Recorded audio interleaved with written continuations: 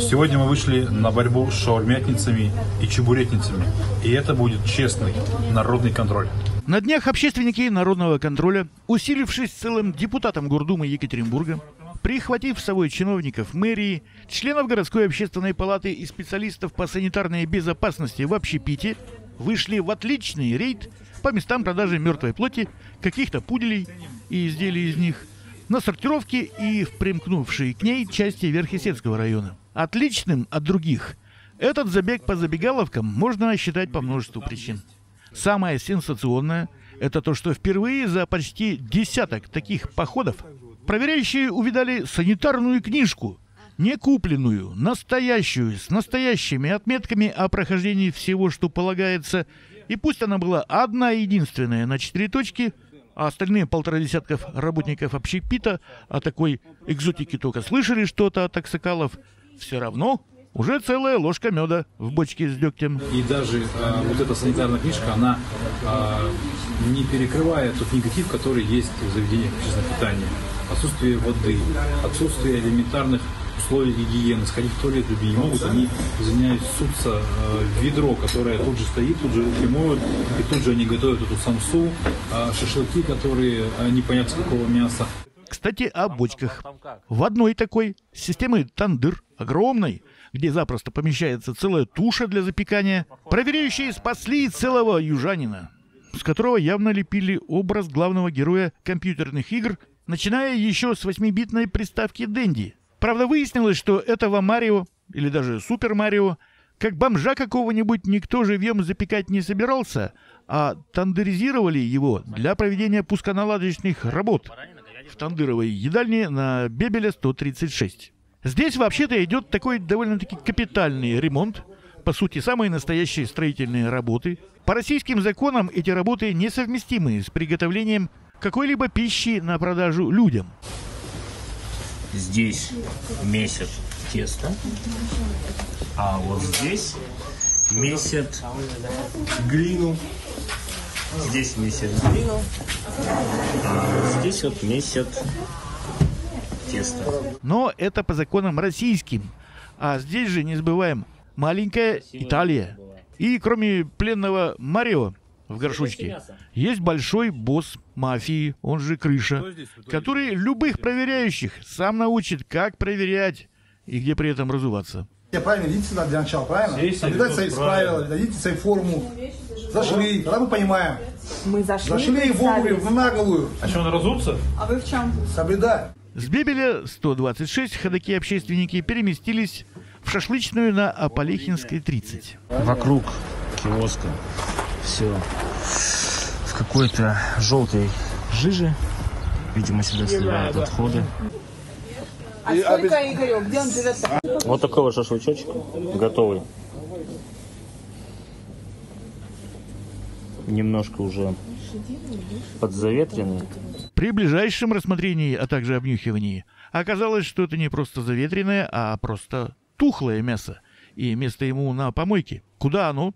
С витрины заведения, где, кстати, парадоксально как раз и обнаружилась единственная настоящая санитарная книжка, и проследовала по настоянию проверяющих. Вот посмотрите на заветренное мясо, на все на это, которое хотели людям давать поесть. Сначала готовить все это.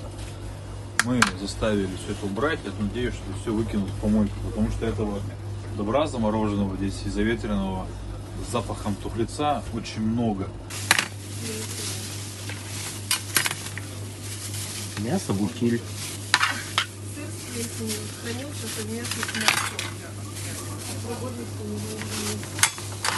Скажите, а куда это сейчас все пойдет? Просто без, без завтра, без ничего, вы сами сказали, выберите, я выберу. Почему сейчас вы только выбрасываете это, а не раньше? Ну-ка, почему сегодня? Можно же было сделать это раньше. А почему не сделали? Не успели? Кстати, о собаках. Очень интересно, это собакен или барашка висит. Так с виду и не определить. Интересно, откуда мясо у вас? Соответствует ли оно всем требованиям? Есть ли у вас санитарная книжка? Условия хранения продукции? Есть, есть, холодильник есть. А где холодильник будет? Там на столе, На улице холодно. Улице тоже холодно, да, только не минус. Минус стоит. Сейчас узнаем. А это соседний киоск на Полехинской, где торгуют чьим-то мясом. Без таких предрассудков, как ветеринарные сертификаты и иные сопроводительные документы или холодильник, который... А зачем? Дверь открыл, вот тебе и холод, зря что ли на север переезжали. А что это за скотинка? Как она встретила свою кончину? Будучи нежным барашком в забойном цехе или естественным образом в кругу семьи, в окружении стада прапраправнуков, это все покупатель как захочет, так себе пусть и нафантазирует. И, наконец, наши естествоиспытатели оказались на самом пике. Не просто в забегаловке, а в вокзальной забегаловке. Казалось бы, верная погибель и любая сортировка померкнет на этом фоне, но нет. Все наоборот. Здесь оказался лучик света в темном царстве. И такой яркий, что проверяющие решились на смертельный номер. Два чебурека. Да, пожалуйста. Разогреть надо? Нет, что, два беляша? Да. И два беляша. Пожалуйста. Вы решили купить? Ну, мы же должны э, как-то демонстрировать и проверять наглядно пищу. Я не утверждаю, что мы будем ее есть, но внешнее состояние мы ее оценим. Одним только внешним осмотром исследователи в итоге ограничиться не смогли. Впрочем, настолько рисковать здоровьем, чтобы попробовать на вкус, не смогли еще сильнее. Поэтому, как завещал царь Соломон, а вы его просто пополам правите, они так и сделали. Если разорвать его, то мы видим, что там есть мясо, но его на самом деле немного. Сейчас посмотрим, сколько нам положили мяса в чебурек. Это вот одна половинка чебурека.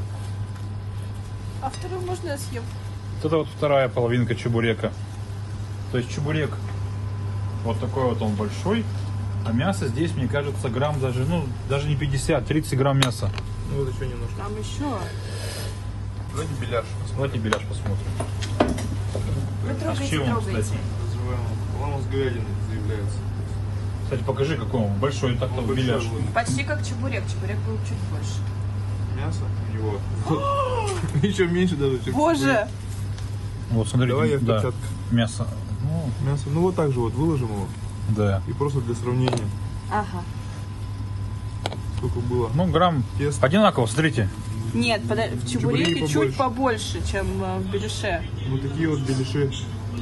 В общем, тут что-то еще рассказывать, пожалуй, не стоит. Вы все сами видели, сами и решайте, стоит это ваших денег или не стоит экспериментировать над своим единственным организмом за его же деньги.